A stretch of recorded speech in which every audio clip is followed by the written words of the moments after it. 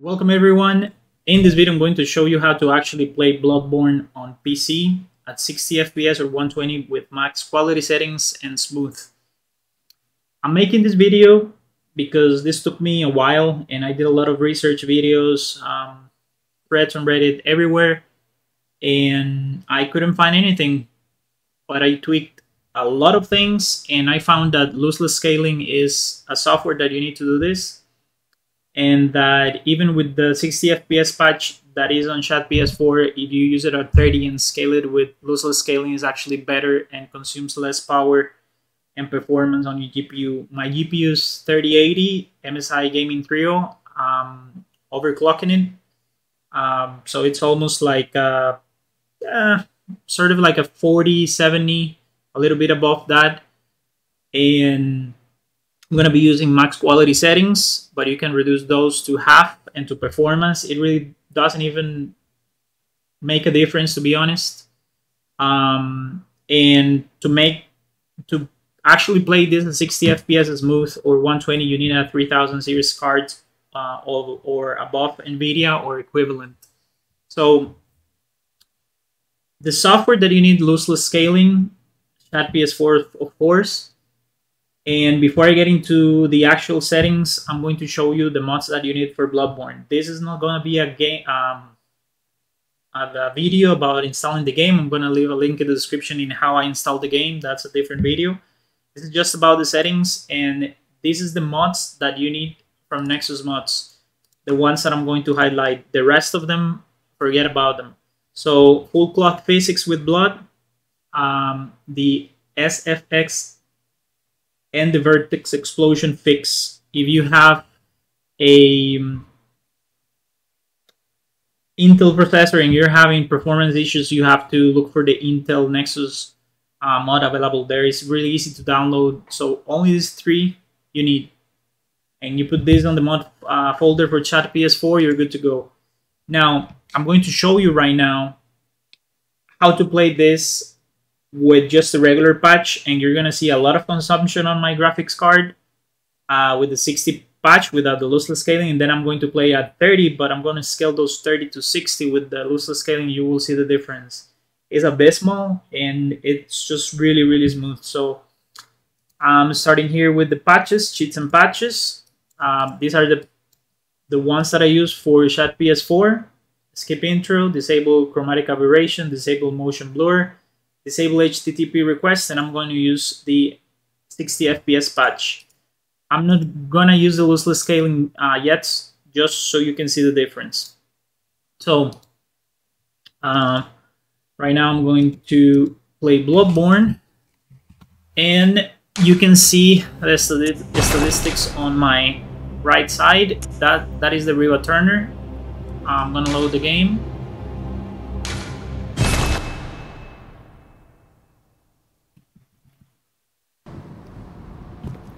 And now you're about to notice what happens when you play with this patch. As you notice, we have 46 FPS right now. And this really happens all the time. 46, 47, 50, 55, 44, um, 58, you name it. In different areas, um, sometimes those kind of drops.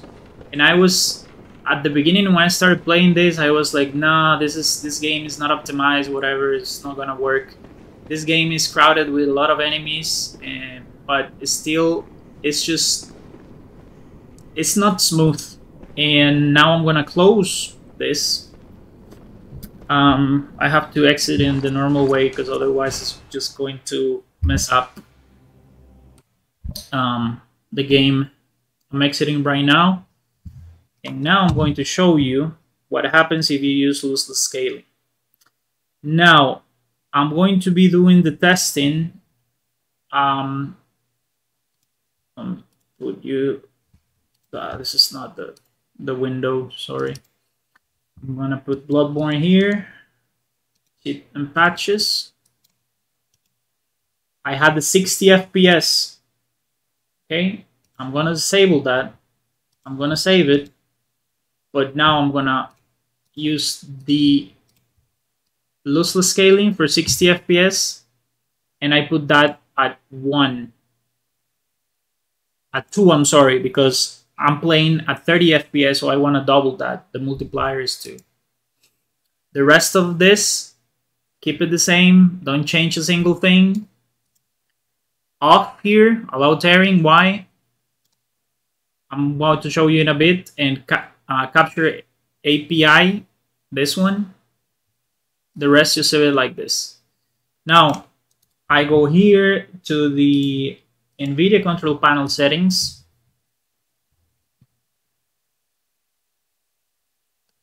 Program settings. I add the ShadPS4. I have everything here to the max. 16, 8, 8, enhanced application setting, uh, ultra, the low latency mode, you need this ultra and the G-Sync. If your monitor has G-Sync or V-Sync, most of them ha uh, have that, and that's the reason it's just way smoother. Um, what this does is that you don't you don't have it here on the lossless scaling, but your NVIDIA control panel overrides this and it's just smoother. I, I tried different tweaks and it, it never worked, but this this work.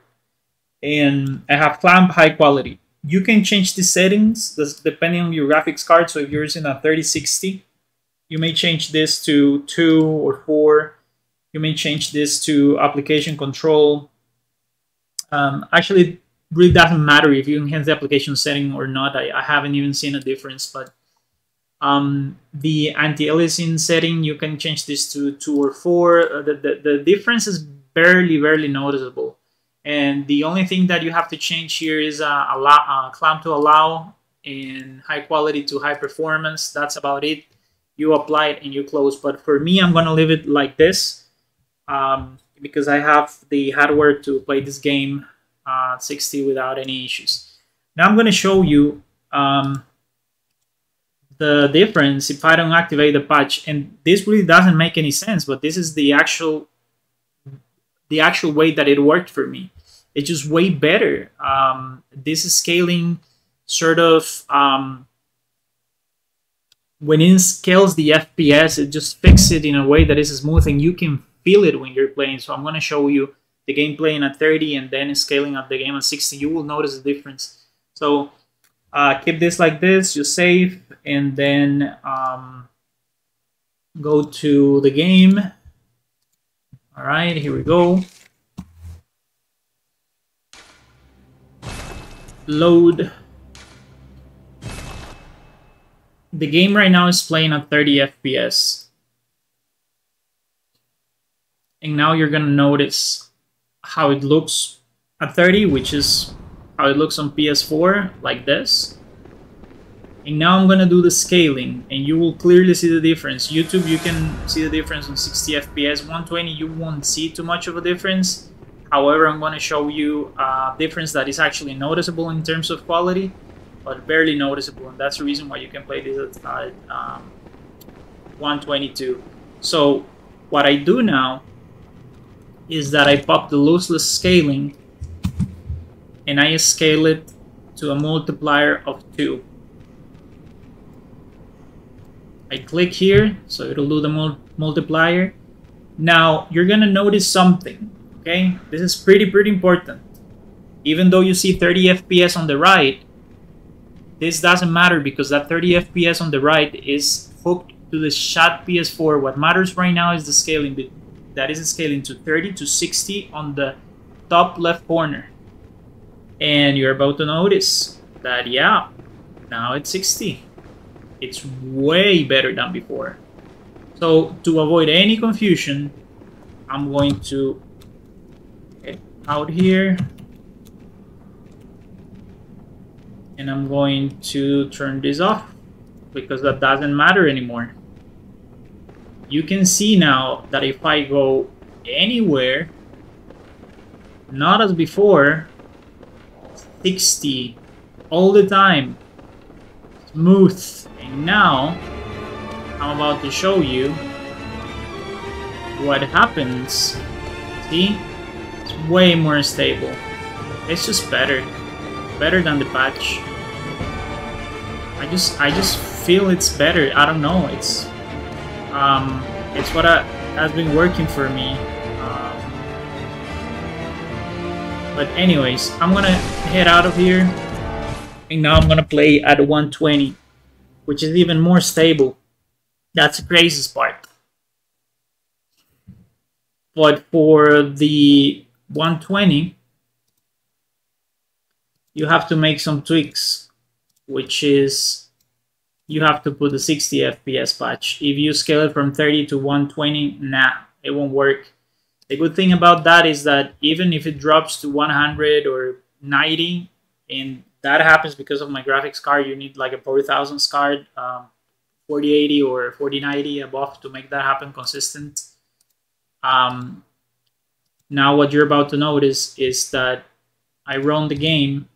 This is pretty important. Uh, what I'm going to do, and I'm going to avoid confusions to turn this off, I'm going to use the lossless scaling and I'm, I'm gonna scale I'm gonna use the two same the multiplier. So if I have a 60 120 if I have 30 then it's 60 now you're gonna notice on the top 60 120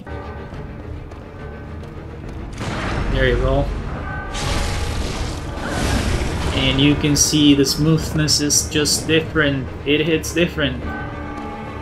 These are the best settings that I've found. And now I'm going to show you. I'm gonna die here whatever now I'm gonna show you. Oh my god Maria hit me. Now I'm gonna show you why you don't scale this game above 120 and the difference is really really noticeable. Really really noticeable. But I'm gonna change the location um, with more light. Alright, so if you take a look at the character right now, and I go like this, there's nothing noticeable around the character.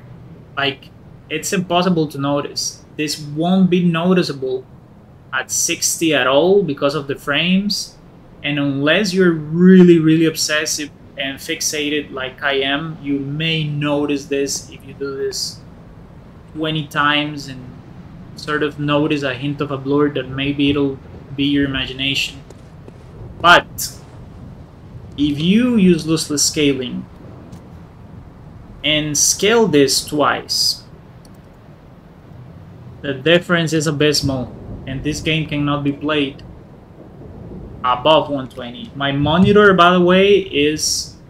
Um, I'm gonna scale it even more because I think right now it's doing only 200. Scale it. My monitor is uh, 1440p, um, 240 hertz, which works for 2 240. Now you can clearly see there's something off with the environment. See, it's a 240. Now I'm gonna take a look at the character. It's just horrible. You can see it. You can see it like there's. It's like it's almost like it's got really distorted around the enemy, and when you play with other enemies, you can clearly see this. It's just a sort of a distorted um, problem that happens and there's no fix for this. I did a lot of research. If there's a new patch or fix or something, let me know in the comments, but I couldn't find anything for this. And you can clearly see that the environment also looks like, I don't know, like water with oil sometimes when you move it too fast. Um, but yeah. Anyways, that's the video I wanted to make. Uh, thank you very much for watching. If you made it till the end of the video and this video was uh, helpful to you, um, feel free to leave a like, subscribe. Uh, I would really appreciate your support. And uh, for future videos, um, for those OG subscribers here, Game Bros, I'm going to be doing a lot of Bloodborne videos because this game is fully playable on PC right now.